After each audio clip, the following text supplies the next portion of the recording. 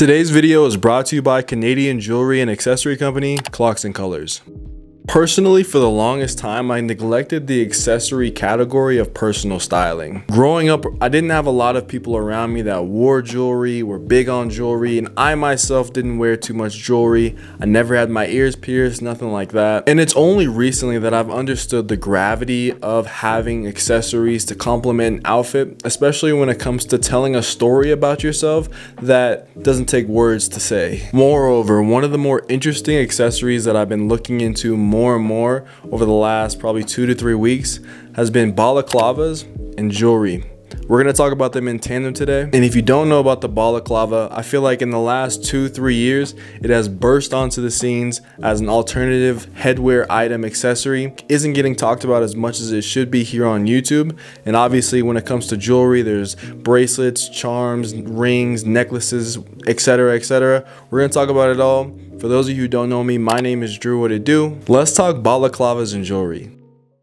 So the balaclava is a particular type of headpiece or headgear or hat that covers the face and chin and oftentimes can cover the mouth and nose as well depending on the type of balaclava that you own. So the history of the balaclava or some historians call it the balaclava helmet actually originates from Polish or Prussian which is German origin. The naming of the headgear balaclava actually comes from the Battle of Balaclava which was during the Crimean War in 1854 when British soldiers were sent this particular type of headgear to stay warm for the wintertime. Fast forward to now, and there are a few reasons why the balaclava has been thrown back into the fray of relevancy in 2021, now going into 2022. First and most obvious reason, in my opinion, has to be due to the global pandemic.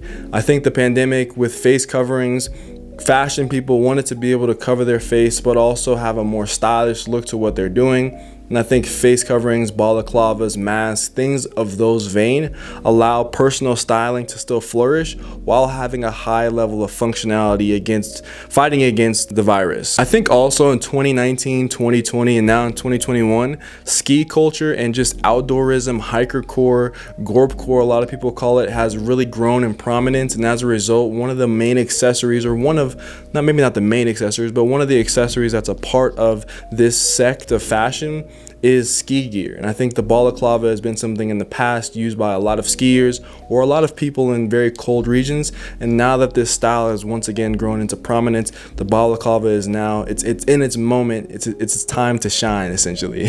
Another reason has to be because of the particular people who are wearing masks, face, cover, face coverings, and balaclavas. You've seen it for a long time. Different rappers, different entertainers have worn masks.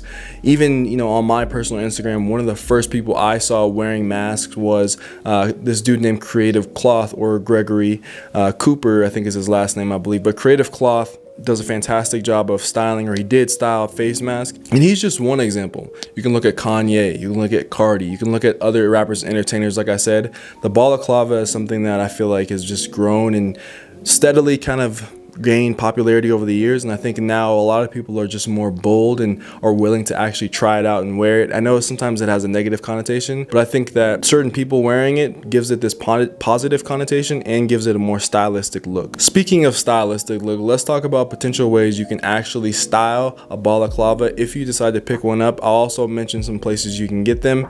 Let's get into it. So like I said, the more traditional ways that you see balaclava styled in a more kind of casual and very accepted typically in ski culture, people wear ski masks all the time, and that's kind of akin to a balaclava where your face and your mouth and, and your lips are covered. I think it's most appropriate during the wintertime. Obviously, if you walk around during the summertime, people might look at you a little bit sideways depending on where you are in the world and how things work where you are.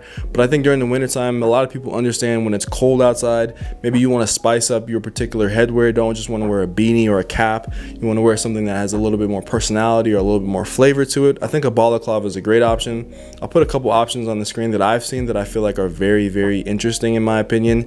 There's just infinite ways to style it. I think one of the easiest ways I can talk about it is replace just whatever your headgear that you would wear typically for the wintertime, whether it be you have a lot of layers on on your body and then you have a nice pair of trousers on or sneakers or boots or whatever. You throw a balaclava on, you throw a hood over top of that, and I think that's a great way to style it. Personally, for me, why I've been interested in the balaclava is because of two things. Obviously, the first one being the style portion of it. Like, I think it's a really interesting style piece well, I guess maybe three things. The style portion of it, the incognito-ness of it. So if you have a balaclava on, sometimes it allows you to, if you throw sunglasses over the top of them, like you're very like, who is that guy? Uh, maybe you draw a little bit of attention to yourself, but sometimes I like being incognito mode. And then obviously it doubles as some kind of face covering because there are still like restrictions and different things and mask regulations that you have to abide by, at least here where I live. So that is another reason.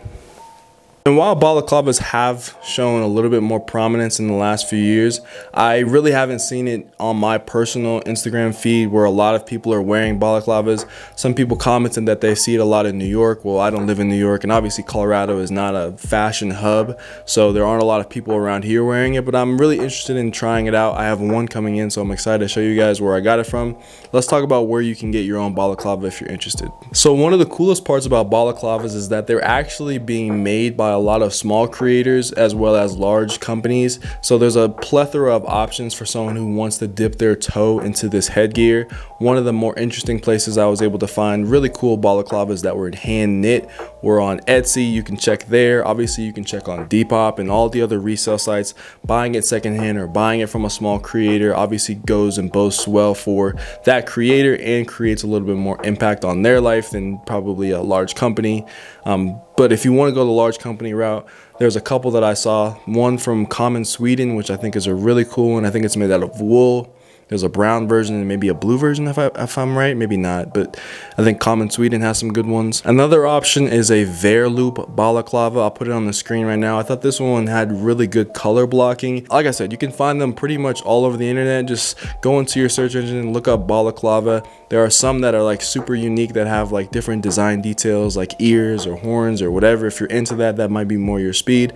Personally, I always keep it pretty simple when it comes to my personal styling. So I go with the simple route and I would go with the simple route. So yeah, just give give Google a search and you should be able to find a few balaclavas and Etsy and all those kind of things are a good place to start as well. Now let's talk about jewelry for a moment. The balaclava is a pretty special type of accessory, but I think more people are willing to buy into jewelry and other accessories like sunglasses than they are maybe something like a balaclava. So let's get into that. At the beginning of this video, I pointed out that I didn't really wear too much jewelry. I never had my ears pierced. I maybe wore a few necklaces or one bracelet over the course of my life for, for an extended period of time. In fact, probably where I began wearing bracelets and bracelets are something that at least I'm more inclined to wear was like Silly Bandz. Do you guys remember Silly Bandz?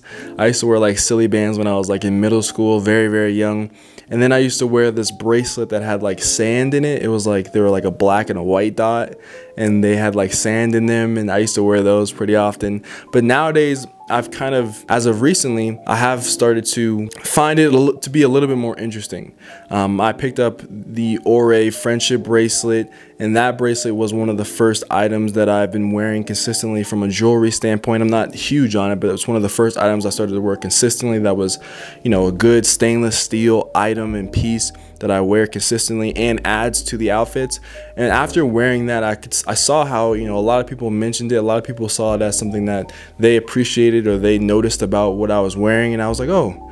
You know, jewelry can actually uplift and push an outfit to a new kind of level or new genre other than just not wearing it at all. So I think it's something that for a lot of people who are curious about it, there's a lot of options. So for both menswear and women's wear, there seems to be two types of people who wear and use jewelry as accessories for their outfits. The first is someone who uses jewelry as kind of like a focal point to their outfit. And what do I mean by that? It means that a lot of times their jewelry is showcased or their jewelry is really not necessarily loud, but it is something that's very prominent about their outfit, right? Like it's not something, it's not an afterthought. It's not something that they wear maybe every day and kind of forget about it. It becomes almost like a centerpiece for what brings the outfit all together, right? I think a great example of this, and I've probably shown it already, which is Fuego Joel. Joel is someone I've talked to maybe one or two times through DM. He seems like a really cool cat, um, but he has a lot of a lot of Chrome Hearts. So does someone like Kyron or D-Bow. They wear a lot of Chrome Hearts items, and I think that style of jewelry when you wear it, it really uh, elevates and just brings a level of like like lure and luster to the outfit that if you didn't have that jewelry, if that wasn't a part of your character, your personality and styling, it would just have a totally different feel to it. And so for me, as I've been going through with my journey with jewelry and accessories, I think there's a couple things that I found to be pretty obvious. The first being the quality of materials. Obviously, for a lot of things, the best quality is going to be like sterling silver. You have stainless steel, then you have gold. You also have, you know, platinum and diamond jewelry encrusted, all those kind of things that are part of the jewelry. And then you have the details. How is it made? Is it handmade? Is it machine pressed? Or all the different variables that go into making jewelry that once again, just like clothing, like quality matters and attention to detail matters in terms of quality products. And so recently, I've been able to acquire two new accessories through today's sponsor, Clocks and Colours. And I want to make this a very kind of pickup style integration for this part of the video. I want to show you guys what i picked out and what kind of jewelry i'm into and what i'm looking at when i'm buying jewelry nowadays. And thank you and shout out to clocks and colours for helping me you know bring this video to life and also dip my toe once again into more types of fashion accessories and jewelry. So i'm pretty skeptical when it comes to working with particular brands because i want to give you guys and show you guys products that i actually believe in. So i did my homework on clocks and colours and i was really blown away by one their craftsmanship the quality of materials used in their jewelry, and just the overall presentation of the brand. They stay on image. All of their images like on their Instagram are black and white. All their product images are black and white. They really stay true to this like rugged American Western styled theme that they have going for their brand, and they live by it, and I really love that. Let's start with the first item that I picked up, which is the Kyoto bracelet. The unboxing experience, as you can see, is really nice. Everything feels really flush, really put together like I'm unboxing a new iPhone or something like that, which I love. And obviously jewelry, you want to have a nice clean unboxing experience and nice presentation. Wow. So my first impression of this bracelet was the fact that how heavy it was. It was a really nicely crafted sterling silver, which is unbelievable. The bracelet honors a few parts of Japanese culture and I find that so interesting. I'm kind of in love or immersed with Japanese culture, I feel like all the time. And I find this bracelet to be just so interesting. The first thing being the geisha, which is one of the most recognizable cultural figures in Japan, known as kind of a performing artist and an entertainer within the cultural cityscape. According to the description of the bracelet on the website of Clocks and Colours, there are only about 100 geisha that are actually still active today in Kyoto. Geisha actually meaning art doer within kanji. I also love the cherry blossom details all throughout the bracelet with the geisha. The cherry blossom is another one of those iconic cultural symbols of Japan and something that's very recognizable by the country. As someone who's a foreigner, it's something that I, you know, when I think about cherry blossoms, I think about Japan. I also like how the bracelet pays homage to Japan's or one of Japan's more culturally important cities, Kyoto, which is really really cool. I think the description of this bracelet and the meaning behind it sold me on why it was something that spoke to me. And i can't wait to style this and wear this throughout the winter summer spring season. This is gonna be on my wrist pretty much all the time. With the ore bracelet i absolutely love this. Next let's look at the second item i picked up from clocks and colours. And these are the wanderer stainless steel sunglasses. They kind of give me that rugged western kind of tough guy vibe for sure. And i absolutely love these from onset. When I saw these, they were something that I had to have. Yo, yo, these sunglasses, I'm a new man in these sunglasses, man. You can't talk to me the same way. these are made up of stainless steel frame and they feel really good. They made me look really good and I really enjoy these. I'm impressed by both the details and the quality from Clocks and Colours. They did hook your boy up with a code to give you guys, if you're interested, use code DrewJoiner20 at checkout, all caps, and then 20 at the end of it, or click the link in the description. Check out what they have. They have rings, obviously, some of the things that go hand in hand with accessories is having and wearing rings. They have pendants, they have chains, they have a lot of different selection. And like I said, I feel like their aesthetic for a lot of people matches with another brand mentioned earlier in this video.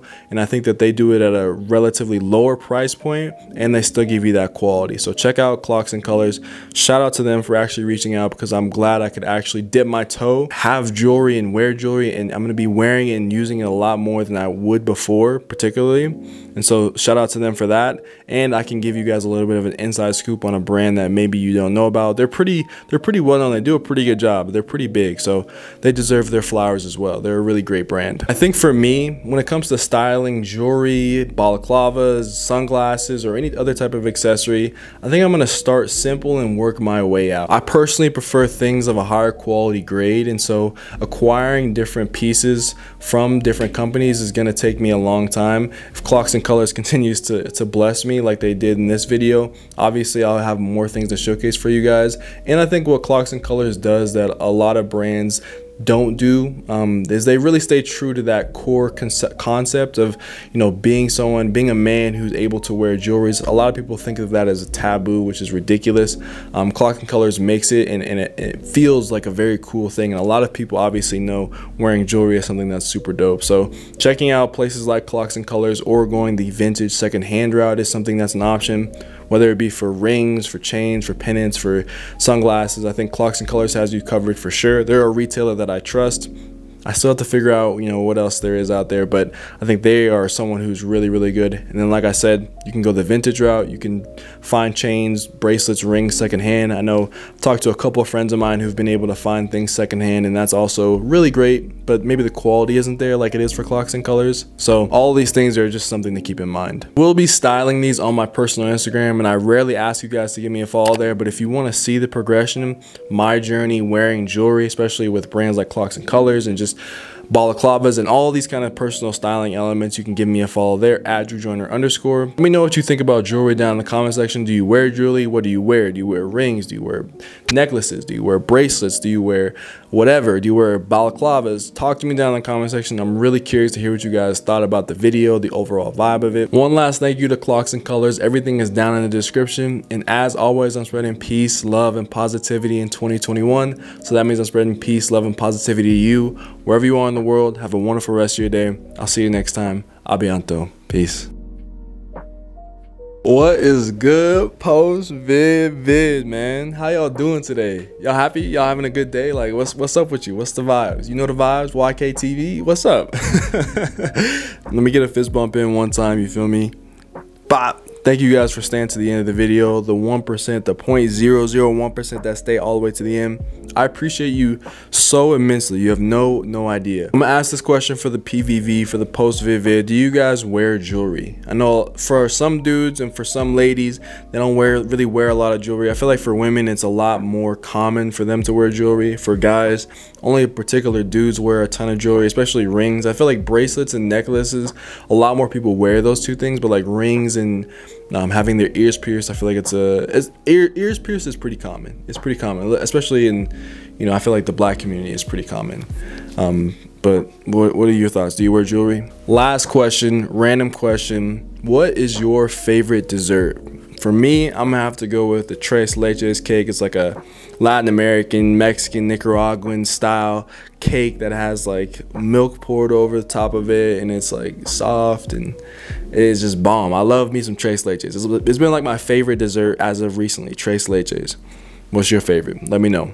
Hopefully you guys have a wonderful rest of your day. We'll see you guys in next week's video. Peace.